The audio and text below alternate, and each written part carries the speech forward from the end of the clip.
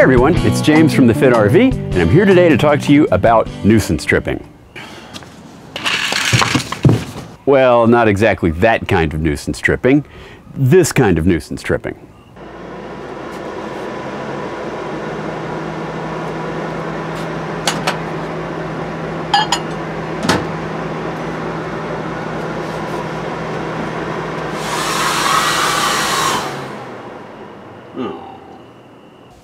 Owners of smaller motorhomes like our Winnebago Travato here are probably all too familiar with that scenario. With only 30 amps to work with, it's pretty easy to go over that limit and to trip a breaker.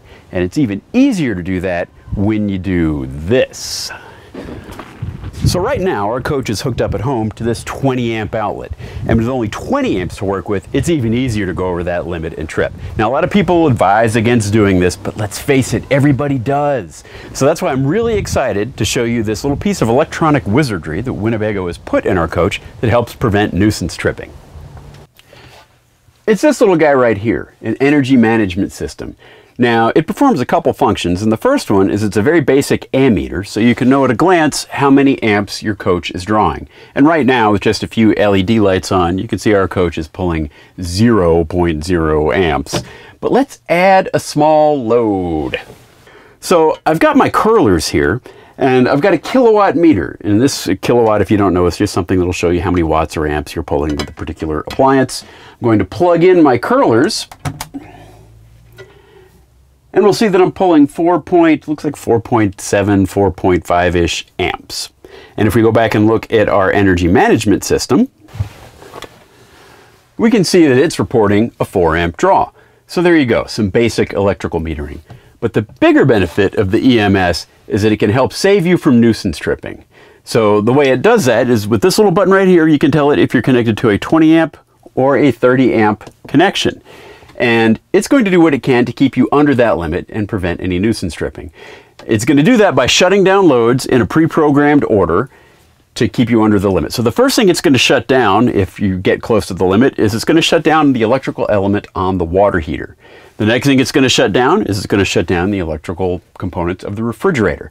And finally, the very last thing it's going to cut down is the air conditioning, which kind of goes along with my personal philosophy of you can take away my air conditioning when you pry it out of my comfortably cool dead hands. So let's see it in action. Okay, so the first thing I'm going to do is hit the select button and make sure I tell it that we've just got 20 amps to work with.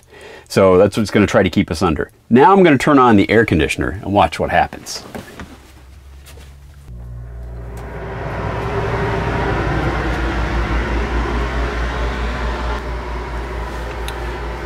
Okay, and we should have seen a momentary spike up to like 14, 16 amps or so, but now it's settled down running the air conditioner at 12 amps. Pretty efficient. So let's throw a little bit more load at it. I'm gonna go turn on the electric element on the refrigerator.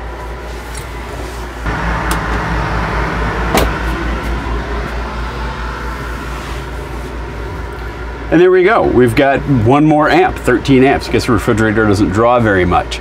So now let's stump it. I'm going to throw on the electric element on the Truma to heat the water.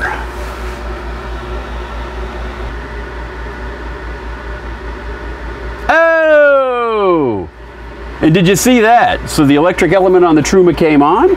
It got up to like 25 amps. EMS said there's no way I'm going to be able to handle that. And it's cut power to the water heater. And if you look here at the Truma, you can see I've got a little, uh, little warning saying I don't have enough power in order to run.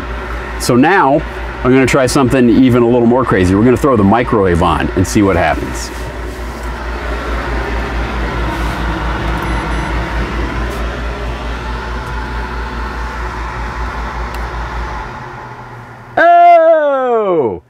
Check that out. So the microwave's still running, but uh, it got up to like 24 amps and said, I can't do it. So it shut down the refrigerator, had to shut down the air conditioner, and I'm pulling 11 amps with the microwave.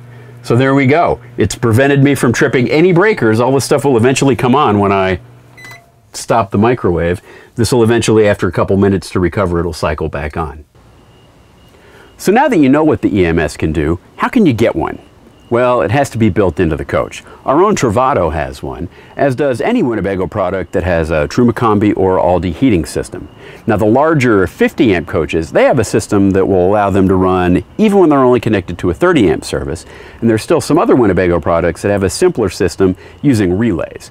Um, but whichever system you have, they're all trying to accomplish the same thing, and that's to keep you spending more time enjoying your RV and less time crawling around resetting breakers. That's all for now. We'll see you next time. Bye.